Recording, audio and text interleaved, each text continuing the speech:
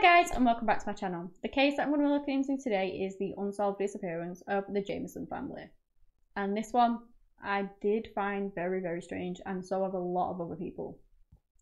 I'd just like to let you know, I mean no disrespect to anyone I'm going to talk about. I've just gathered this information off the internet and compiled it into a video for educational purposes.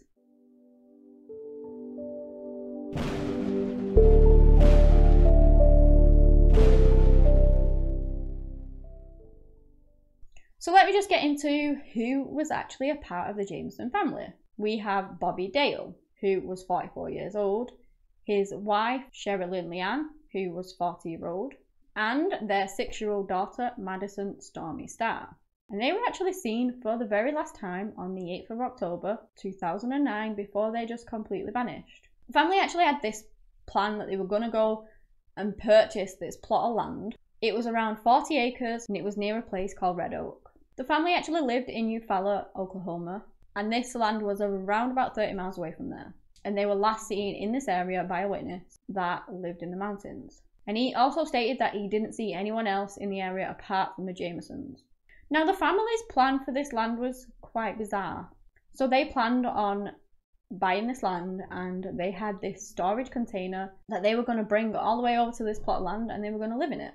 Now, I don't know whether they were going to live in it while they got permission to build a house or what. I just don't know the terms behind it, but that was their plan. The police began their investigation. They tried to find the family, and they did actually manage to get this CCTV footage from outside the home. It was of the family packing up to leave, and this is when it just gets very, very odd. The behaviour that they are showing is just so strange. Just take a look for yourself.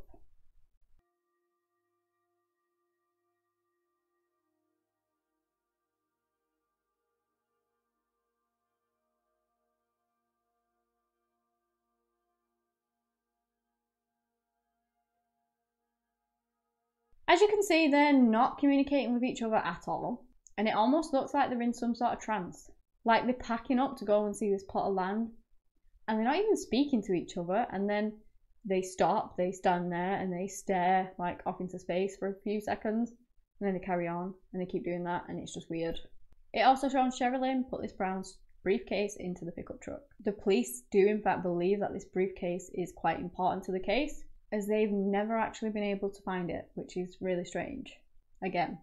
On the 16th of October, eight days after the family were last seen, some hunters out in the area came across the first major discovery in the case. They found the Jamison's pickup truck abandoned in Latimer County, Oklahoma. Now, inside this truck, they found their wallet, their purse, a sat nav, a mobile phone. They had $32,000 of cash stashed in this bank bag underneath kind of the driver's seat.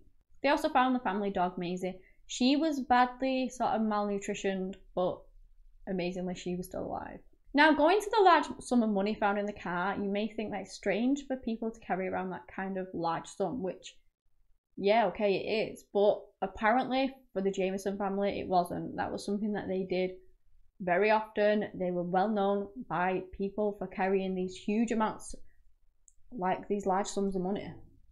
Bobby's mobile was found in the car, and when the police looked into it, they came across this picture of Madison. It's believed to have been taken the day before they all went missing.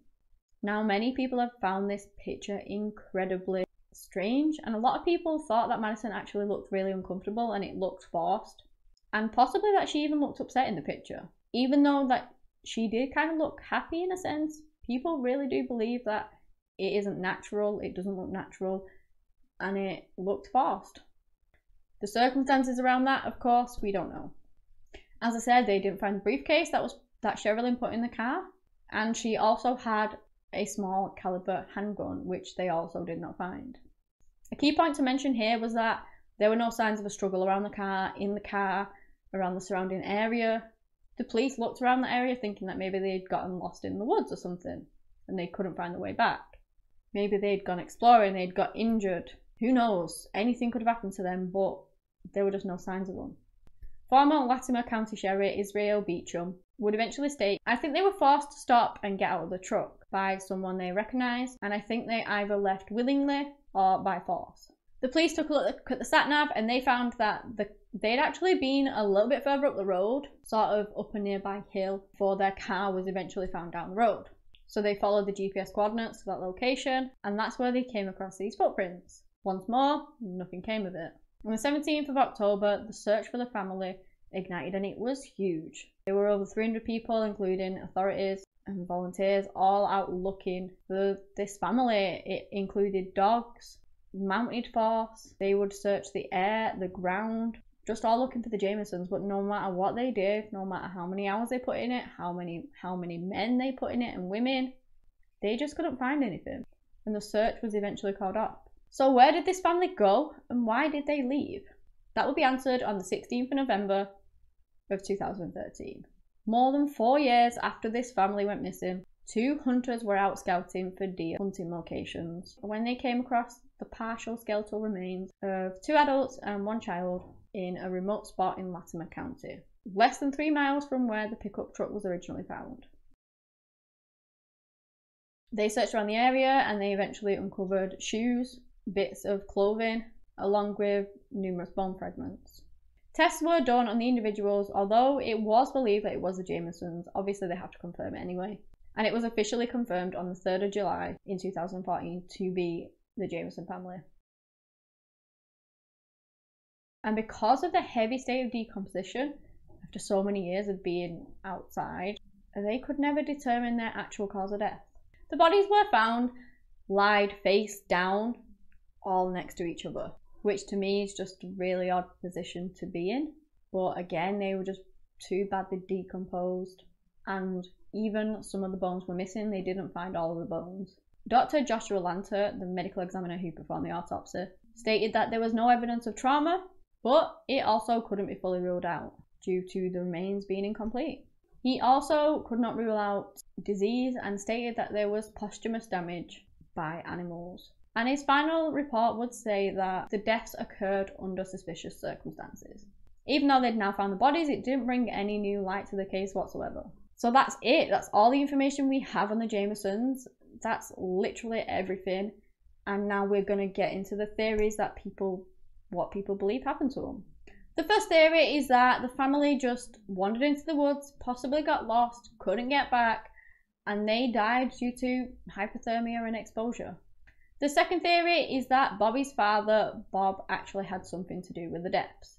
Six months prior, Bobby actually filed a protective order against Bob, saying that his father threatened to kill him on two separate occasions. He also claimed that his father hit him with a vehicle and he was in a lawsuit with his farmer father at the time of his disappearance. He stated that he was a very dangerous man who thinks he's above the law. And his mother actually got the CCTV from which the police took, obviously, those strange last movements from. She got that installed because the family were worried. They she did it for their own protection against Bob. He said that his entire family was scared for their lives. He was in fear at all times. So that really doesn't look good in the consideration that they could have been murdered? Could it be possible that it was his father? Well, he did actually have a solid alibi by all accounts. But other people have speculated that maybe he hired someone. I mean, we just don't know. Bob actually passed away in 2009, and so if it was him, we probably will never know.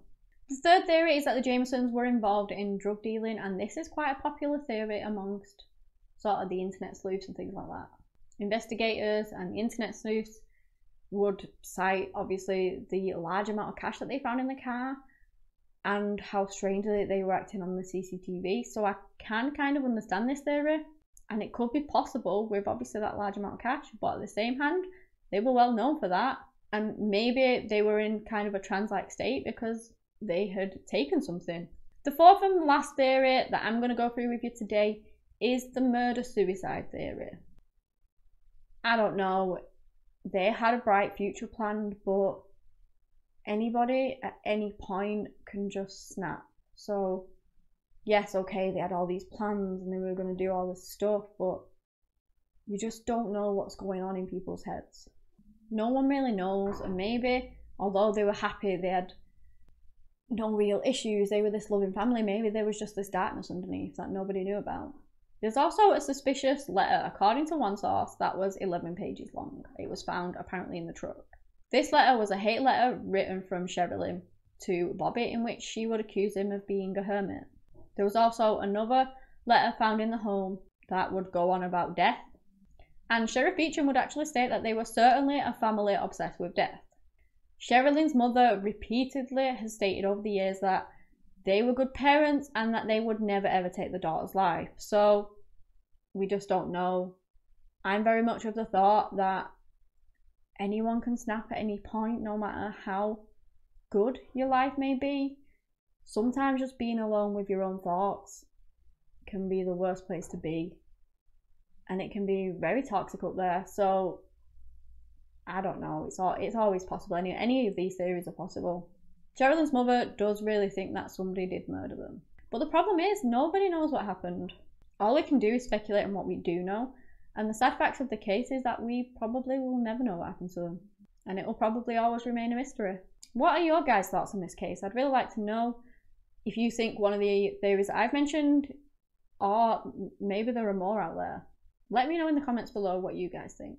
Maybe there's some that I haven't actually come across, and that's what you guys believe. I found this case really strange, and of course sad. They're all sad, don't get me wrong. This family just randomly went out there, they packed up the things, and they were just never seen alive again. The little girl was only six. And their families still to this day don't have a clue what happened to them. Hopefully one day maybe it will get solved and they will finally get the closure that they deserve. So yeah, if you guys have any more suggestions, let me know. I will look into them for you. Give me a big thumbs up if you've enjoyed this video and subscribe to my channel for similar content. Anyway guys, that's all I have today on the case of the Jamison family. Thank you so much for watching and until next time, bye.